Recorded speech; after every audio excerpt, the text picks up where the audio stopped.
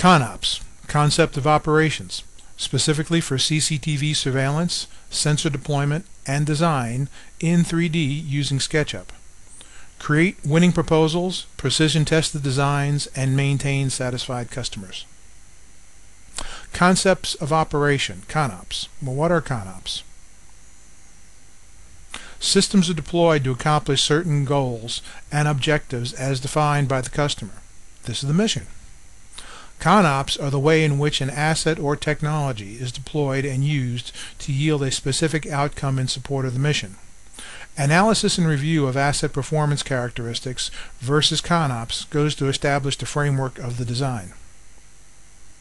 Does the asset, in the way in which it is deployed, contribute to the accomplishment of the mission? This is the question we ask ourselves. Ultimately, we want to ensure that the mission goals are achieved. In the context of this presentation, CCTV surveillance sensor deployment, well, what is CCTV? Uh, CCTV? Closed circuit television cameras, thermal imagers, SWIR, NIR technology used to maintain surveillance of an area by outputting video images.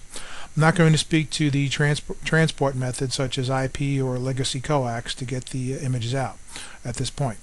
Uh, these are optical sensors though and they have various performance characteristics such as field of view, sensor pixel density, and illumination requirements. 3D modeling.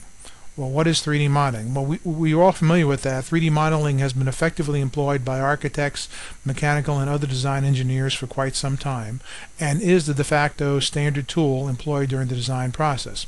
We've all seen the little uh, presentations in Solid Model Works uh, as a software or 3D uh, CAD uh, to present uh, different design images so that you can see what the part or thing might look like before it is actually built. Using simple tools such as SketchUp, we can create a virtual environment that accurately depicts the deployment location. And we can also create graphical representation of sensor characteristics such as fields of view.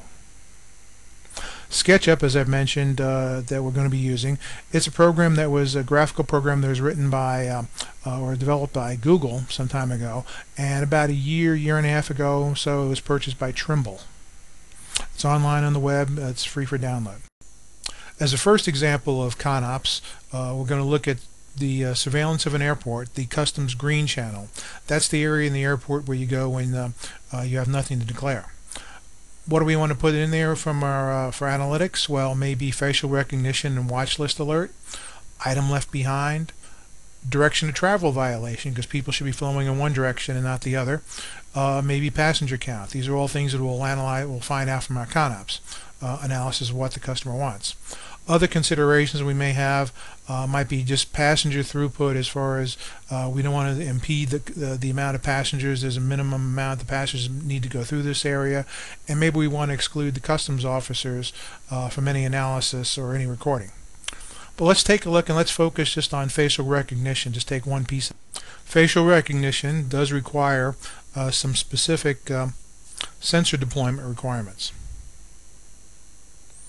First, minimal pixels, as defined by uh, one of the leading uh, vendors of facial recognition software, is that you need 32 pixels on target interocular, that's between the eyes, which is an average about 6.5 centimeters. All this works out to a value of approximately 500 pixels per meter is what's required um, as, as a value for the uh, resolution of the, of the imager. So an example, at 10 meters from the target, the lens we selected produces a horizontal field of view, the width, of about 8 meters. Okay. Uh, the sensor or the imager, if we if it has a 4:3 format in the camera, would need to be well 8 meters times 500 pixels per meter would be 4,000 pixels in the horizontal, which would put us in the class of a 12 megapixel camera pose, which is the uh, deviation from straight on frontal. Uh, this equates to the angle uh, of view from where the camera is uh, viewing the subject, uh, and equivalently the mounting height, therefore, the subject cannot exceed plus or minus 15 degrees, or the person cannot be rotated plus or minus, should not be rotated more than plus or minus 15 degrees from, from straight on. The site model we're going to look at, uh, basically we decided after we looked at it, and we'll see it in a moment here, uh, it's going to be a 20 meter standoff from the entrance of the hall. and the basic uh, entry channel will be about 5 meters wide.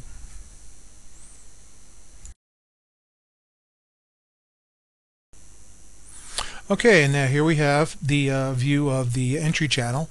It's not any one specific uh, customs green channel. It's just sort of representative of all the different ones I've been through in my travels internationally.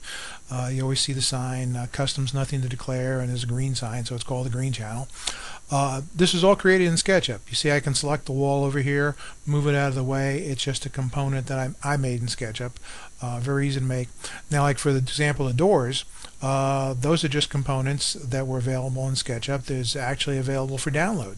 Um, you can modify them a little bit and then just drop them back in place. Stanchions, again, just a component that's available in, in SketchUp. You type in the words stanchion and other people have made uh, models of stanchions and even the people, the bags, uh, all the items that you see here for the most part um, uh, were, were already pre-made by other other people uh, out there, just other people working in SketchUp doing various modeling uh, type functions. Mention the people, and those, those were all authored by other folks, and I just downloaded the, the models. But one thing I did uh, add in here is I did put some um, uh, scaling to them. So I can show that for example the little boy over there is about 1.3 meters the young lady there is 1.69 meters uh, and the young man there is about 1.93 meters. That represents the range of typically when you say uh, I want to see uh, have different subjects at different heights uh, be, to be seen by a system that typically represents the low range to the high range. Uh, the you know the 1.93 which is about six foot three US uh, that's the, up to the 95th percentile as far as height is concerned okay? But it gives you the range there and that's one thing you can do is validate uh, uh, if you're going to achieve the heights that you need to achieve in a, in a specific model. Okay now let's take a look at the basic dimensions we spoke of and I'll use the measuring tape function here in SketchUp and you see where the uh, the mount would be for the camera to the entrance to the channel. It's about 19.94 meters. I said about 20 meters uh, from the where the sensor will be to, to that entrance. And then use the measuring tape again to go from that stanchion pole to the other stanchion pole. It's about 4.3, 4.4 meters, and I, I rounded it up to 5 meters just for, for our discussion's sake here.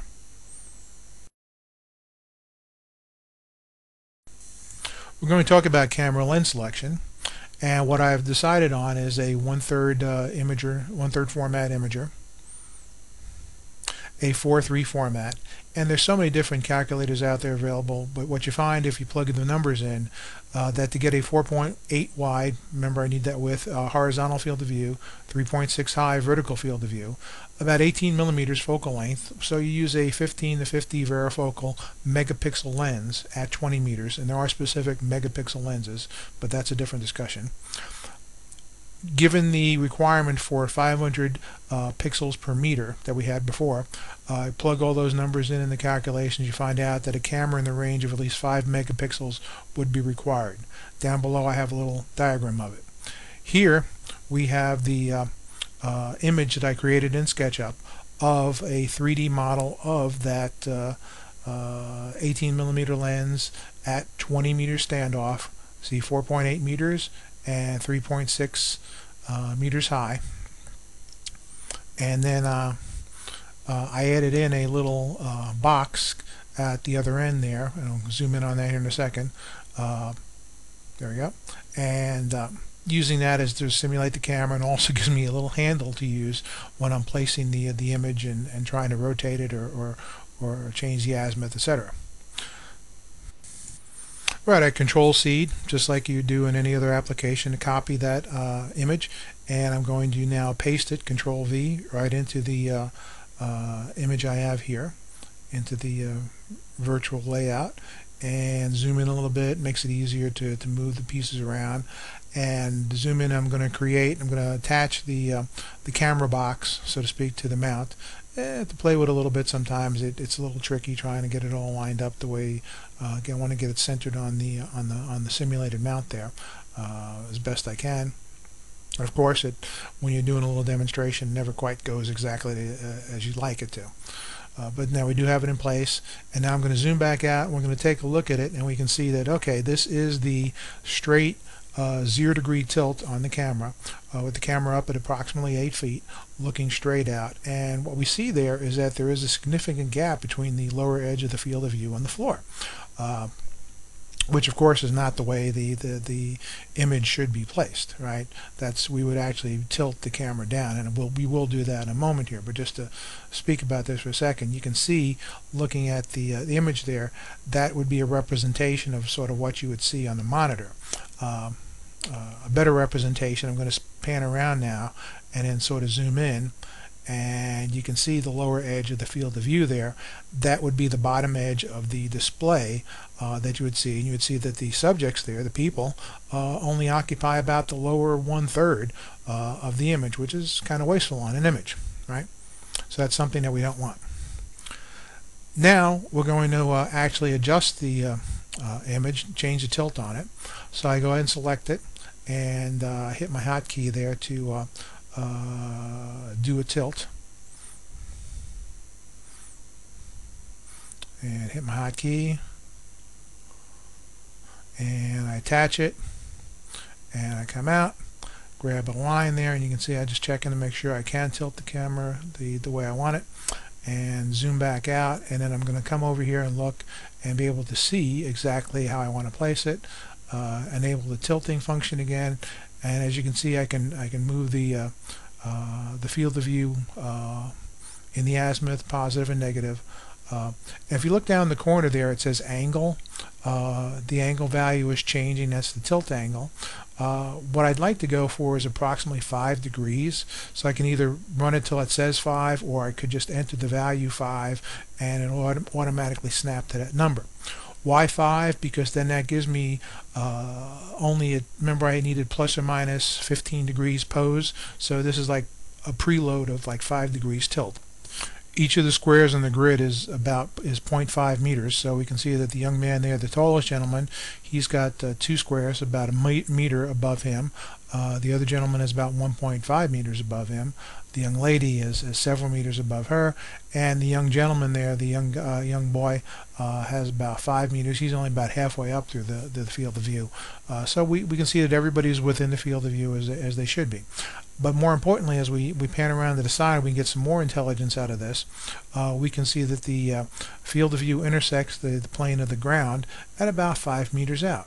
So we have definitely five meters worth of distance for the people to traverse before they exit the field of view.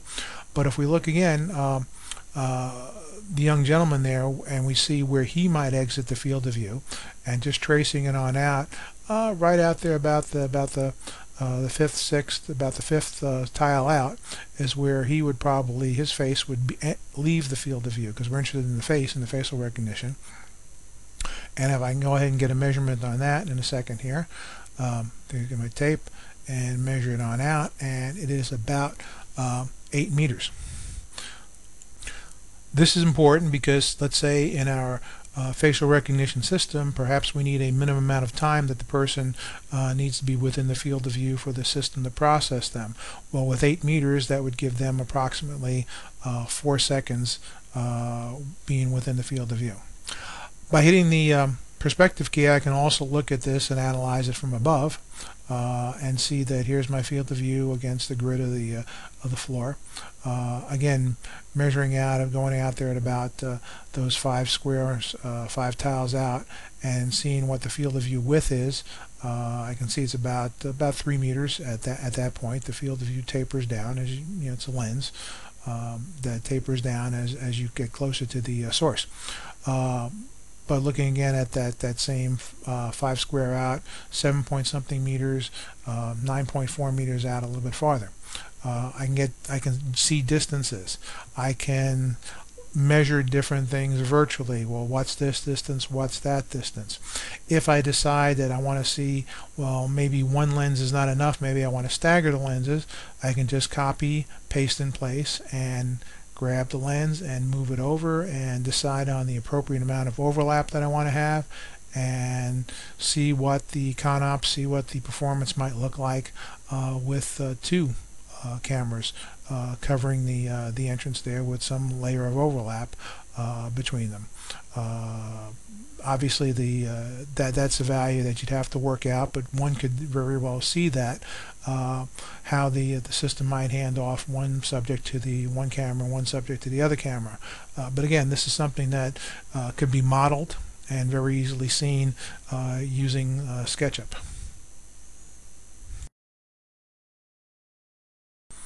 In our next example, I use the example of surveilling an outdoor mall parking.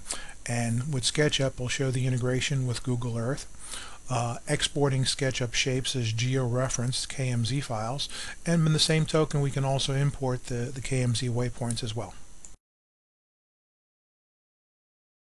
Here we have our blank um, SketchUp workspace, and up here we have a blue uh, eye uh, white eye and a blue field icon, which brings up the model info area. And one of the selections there is for geolocation. If I click on geolocation and add location, what that does is it shows the integration uh, between SketchUp and uh, uh Google Maps earlier, I, I'm from Florida, um, Orlando, Florida, so I typed in Florida Mall. Uh, up there in the uh, address field line, I just typed in Florida Mall, and it uh, zeroed in on the Florida Mall there for me and, and, and, gave me a nice representation of the Florida Mall from Google Maps.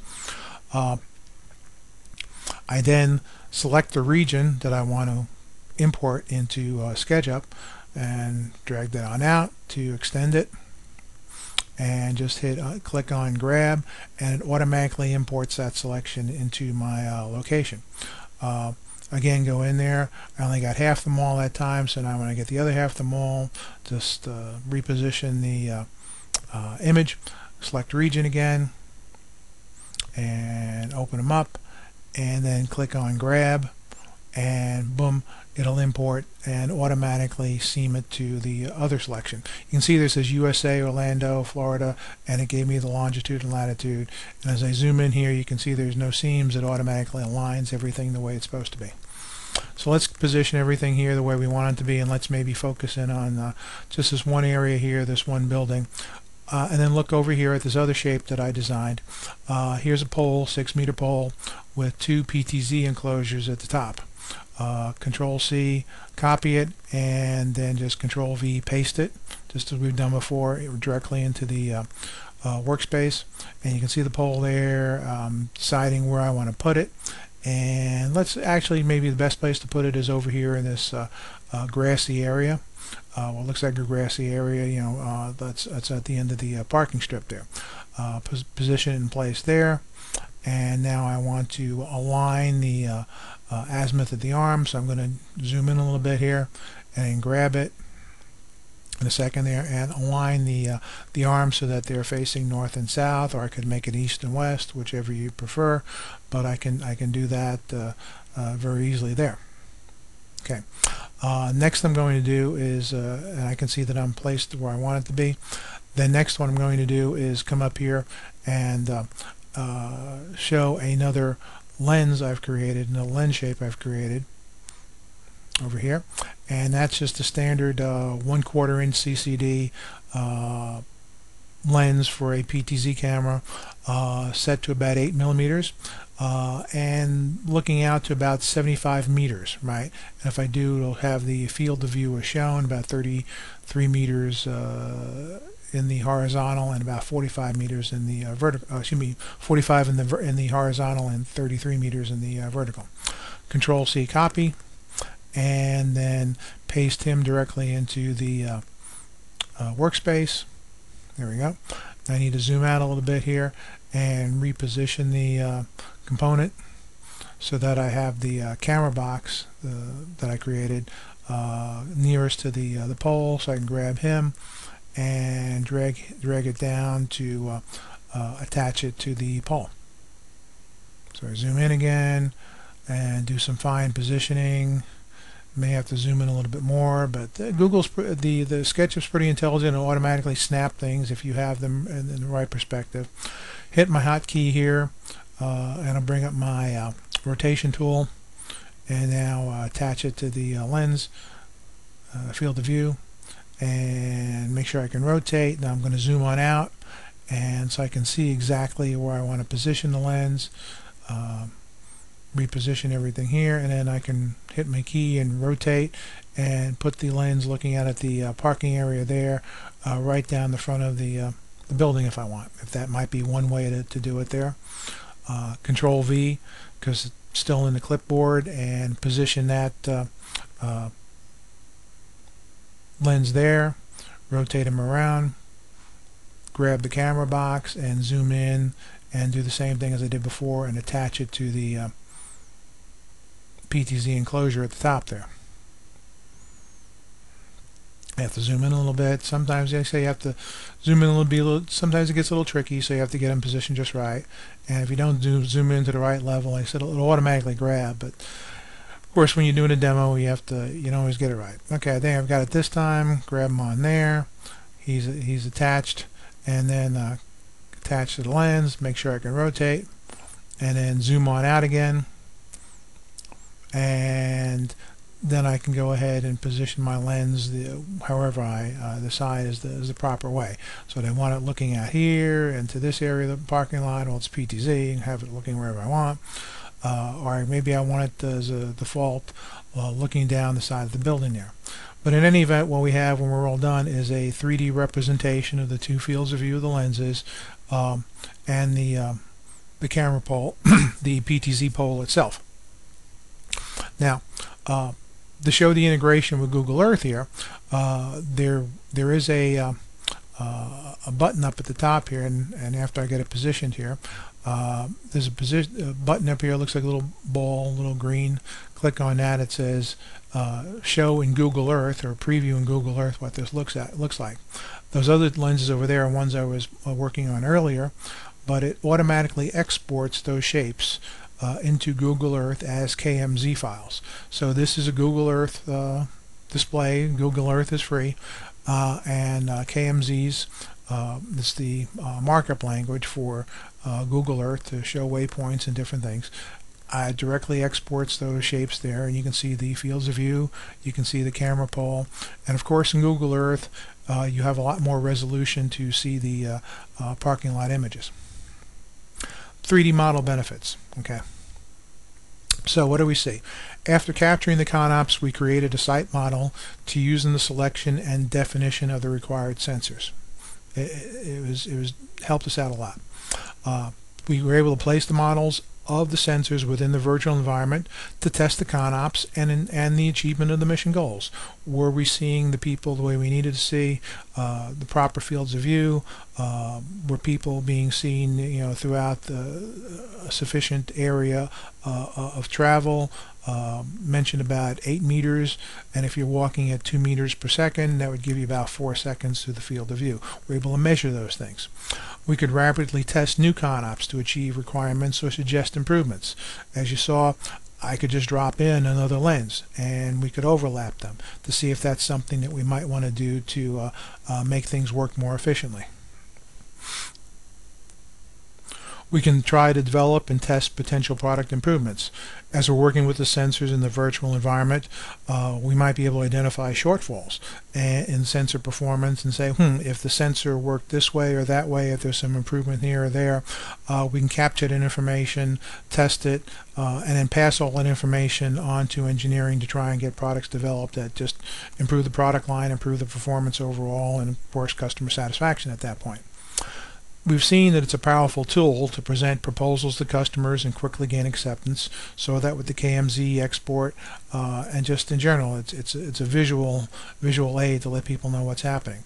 Lastly, uh, again, you can use this to create graphics uh, of use case scenarios for sales and marketing uh, because this presents the value proposition in a graphical form to the customer if this presentation has been helpful or if I can be of further service, please email me at mstrong591 at gmail.com or please reach out to me on LinkedIn.